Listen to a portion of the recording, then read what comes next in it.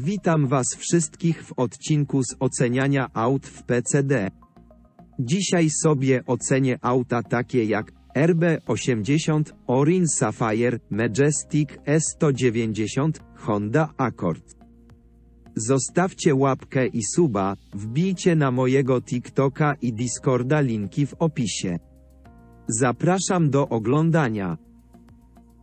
Światła w tym samochodzie są niezbyt wymodelowane, dla mnie auto z wyglądu zewnętrznego dostaje 5 na 10 nie podobają mi się takie auta zbytnio. I też jest trochę mniej detali.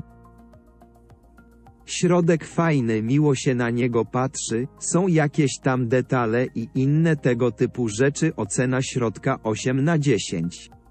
Przetestujemy rozpęd tego auta.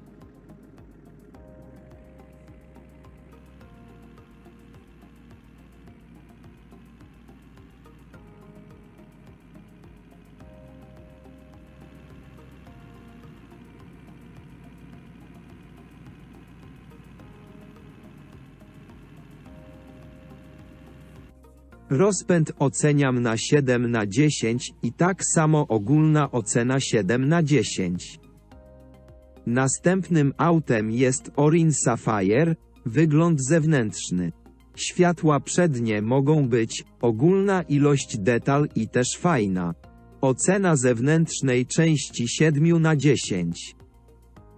W środku mniejsza ilość detali, wszystko ma jakąś teksturę, ale mała ilość detali 6 na 10. Rozpęd sam się nie sprawdzi.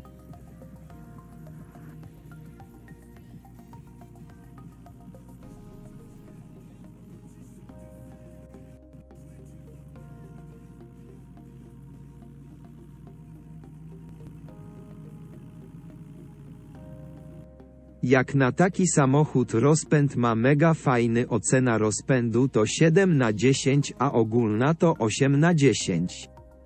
Trzecim samochodem jest Majestic S190, z zewnątrz ma różne detale tylko przednie światła trochę naklejane, kształt też samochód ma fajny podoba mi się taki.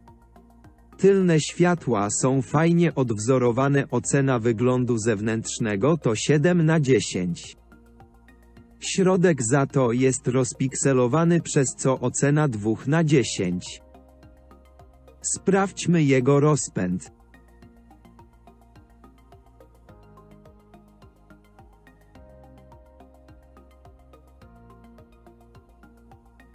Rozpęd oceniam 8,5 na 10, a ogólna ocena to 7 na 10 ponieważ ten środek mi się nie podoba.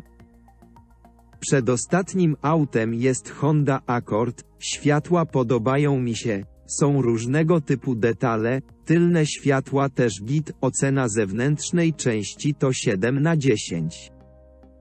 W środku większość nie ma tekstury i mało detali. Środek to 4 na 10.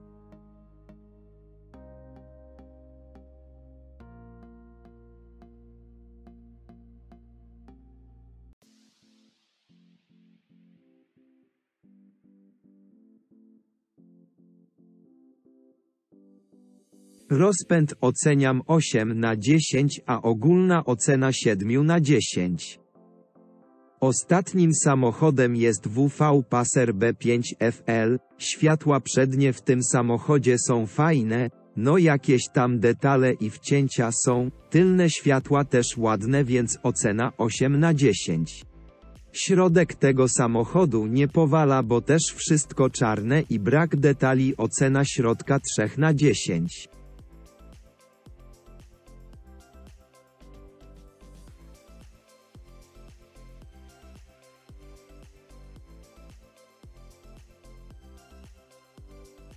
Przyspieszenie za to fajne 8 na 10, ale ogólna ocena to 6 na 10. Jeśli obejrzałeś lub obejrzałaś film to proszę Cię o suba i łapkę. Pamiętajcie oczywiście też, że to wszystko to moja opinia więc nie bierzcie jej na poważnie.